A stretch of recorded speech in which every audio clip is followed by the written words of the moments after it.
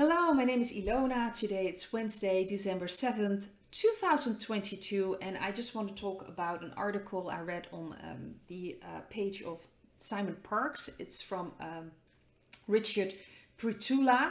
I hope I pronounced that correctly. It's called The Sleeper, and uh, he's uh, talking about the sleepers, the people that are not aware, and he has some interesting points. And I think what Simon meant with that, because the point of the article is that it has no uh, value to let people suffer more, especially unaware people, because they are not going to wake up that way. And I've noticed in his video, some of them, I just watched small parts that um, I think maybe I'm interpreted wrongly, but he's a bit frustrated with that it's taking so long. And really, the people that are suffering are the people that are aware because the people that are unaware are not even seeing the information and are still not waking up. But it's a very interesting article. I just want to mention a few things. Let's see. First part of the sleeper. Using the term sleeper suggests that the user has no concept of the state of mind of the unaware person. A person is unaware because the new information is too anxiety provoking to reach their awareness, that is, their higher conscious and intellectual levels of functioning. They have not developed the mental capacity to tolerate the anxiety. It does not emerge into consciousness for them to be able to assess the new information. It is treated as dangerous and life threatening. They defend against it with negation, blocking it. This occurs beneath consciousness and all that presents consciously from them is no or denial of the new information, avoidance, mocking and ridicule of it and any who speak it. A group of similar unaware people reinforce this resistance. It is the reality for that group. So it's very interesting that he's mentioning that the main part why people are not processing this new information is because of fear.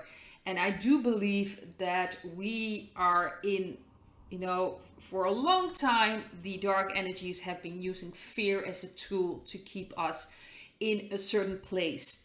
It is, in a way, perfect to manipulate people. So the people that are unaware are at a base level extremely uh, fearful and they believe what the media is telling them, what the fake news is telling them. So all the information that is contrary to what they believe or what they hold on to is seen as a threat. And sorry about that. They won't even notice that. It's a very unconscious decision. So they hear something, they won't even listen to it. They will mock it. They will reject it. Uh, there are lots of things people are dealing with. I hear it all the time. Family members, loved ones, they don't even want to hear it. They ridicule people. It's it's really very painful to watch. And uh, in a way, it's not that I've been ridiculed, but I do have people or members in my family that are like completely opposed to where I stand for. And it can be tough. It's it's very difficult to at least deal with you know with each other in a respectful way. That's very important. But there are if uh, you know a lot of people are telling me and uh, sending me messages that they've been thrown out of their family. Even their children are against them. It's it's a horrible situation. But these people are very unaware. And the point of the article is that these unaware people are following their fear in a way. And they need safety so the dark energies use the media and fake news to create uh, some like a threat, what they've been using for a very long time. It's the same principle. They create a problem, which of course they're not mentioning they're the ones creating. So there's going to be a reaction. People want them to fix it and then they come with a solution. And of course the solution is in a certain direction that the dark energies want you to go. So in this case, the past two and a half years, there's been a threat going on and there was the solution. Of course, that was the sting. So a lot of people, they, they because they're so afraid and they see this threat and they hear that, well, you're going to be safe when you get the sting, they will follow that. They're like, oh, we should do that, then we'll be safe. They believe that and it eases their anxiety because they don't really know how to deal with that. That's pretty much the issue here. The main issue is that people do not really know how to deal with their emotions like anxiety, like fear. So that's a perfect way to manipulate people. So if you come with information that tells them, no, there's something wrong with the sting, so in a way there is a threat according to them and that the sting gives them safety and now you are taking away their safety, at their sting, there's something wrong with that. And a lot of people have gotten the stings, so you're telling them that there's something wrong with that. They won't want to process that because it will be too scary for them. Very important. It will be like, uh, telling them something and they're like, no, no, no, it's not happening. No, don't want to hear it. That's not true. Because they cannot, uh, how to say this, deal with the anxiety that will come up with that. If they're really going to think through about this and like, okay, there's something wrong with the stings, then suddenly they have an even bigger threat. And mentioned at the end of the article, it is a possibility that there's a large group that will buckle under the uh, pressure if they do uh, finally start to understand what's going on. And I'm not just talking about the sting. Uh, let's see. Um, if they perceive more and more people around them dying and they link this to the sting, what will they do? If this increases the threat level to register as a danger and overcomes their defenses, they may panic or decompensate in other ways. Um, pain and suffering break down the individual's defense mechanisms against anxiety, anxiety, but this leaves them unprotected from their extreme anxiety they have in themselves to begin with. The un unaware are using their defense mental mechanisms to the full. If faced with further extreme pressure, they are likely to be overwhelmed. This may produce cracking or break them. This may be expressed as extremes of physical or emotional violence, addiction, avoidance, attack, increased illness and illness behavior.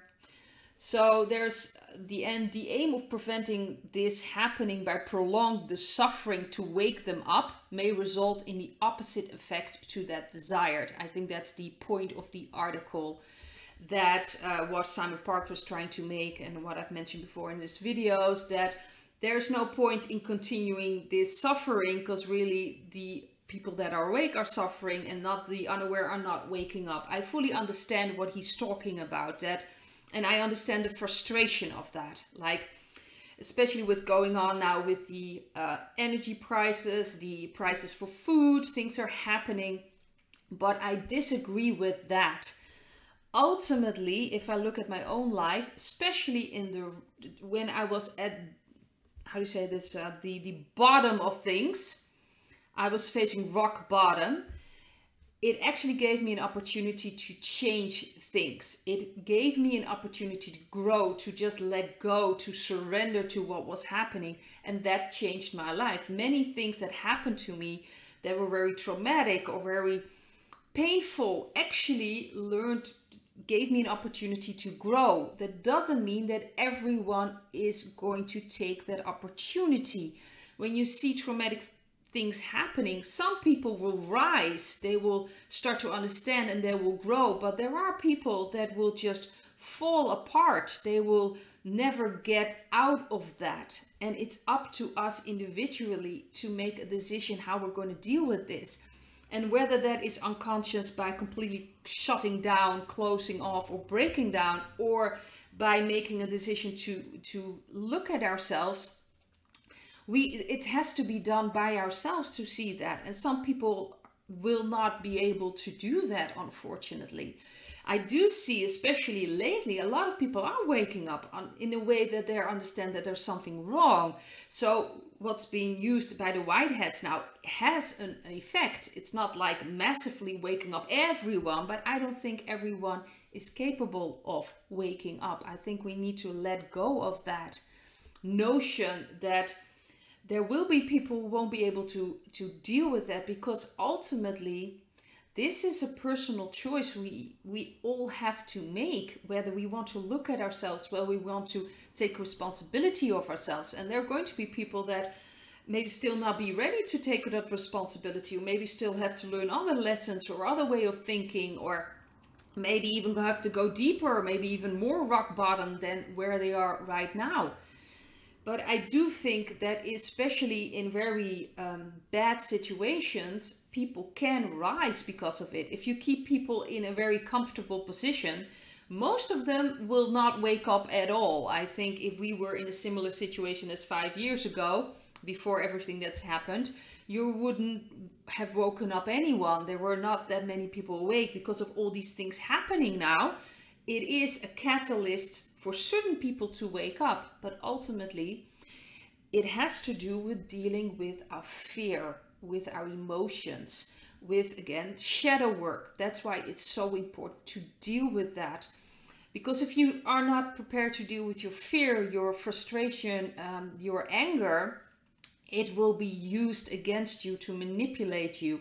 You, if you're so fearful, then you will look outside of yourself. Then someone will need to save you. Then someone will need to make decisions for you. Because especially in fear, that's a very low vibration. It, it gives you tunnel vision. So you're not giving yourself uh, the power to seek other possibilities because fear limits people especially when you're fearful, it has an effect on your immune system, it has an effect on your mental state, your emotional, spiritual. It's a very low vibration. I know the dark energies love fear. They can easily feed of it, and it's a perfect way to manipulate people. So the most important decision we each and everyone will have to make is are we going to deal with these emotions in ourselves? Are we going to deal with our fear? Are we going to create safety within ourselves? That's why it's so important to connect with your intuition, with God, understanding that you're part of Source, you're part of God. We all are. And if you can really trust that process, it's not easy. It is certainly not easy. I've noticed that myself. Certain things are very tough to deal with certain emotions, fear, guilt, but it's important that we allow it. By allowing it, by feeling through it, we won't have to avoid it. We won't have to walk away from it. We won't need security outside of ourselves. We will be able to be secure inside of ourselves. And it's so important that we do that and self reflect, deal with it. And it's all a choice we have to make, each and every one of us. If we're capable of doing that, we'll be giving other people a chance to deal with that because we are all connected. So if our energy changes, it will have an effect on other people. Some people will be able like, hey, what's going on? They will be open for that. Some people will not. There will be people that are threatened by you, by your light, intimidated. They will avoid you.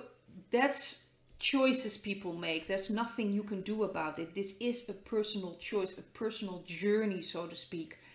And this is really the most important thing we have to do. So ultimately, we cannot wake up other people. People have to be ready to accept information, ready to uh, look at themselves. And some people have a longer path for that than other people. And some people may not wake up in this lifetime. That's a possibility as well. But the most important thing is that we focus on ourselves, work on our own intuition, our own connection with God, our own energy, because that will give an opportunity for people to connect with that energy and also start uh, maybe asking questions, raising their own vibration. That is the most important part we can do.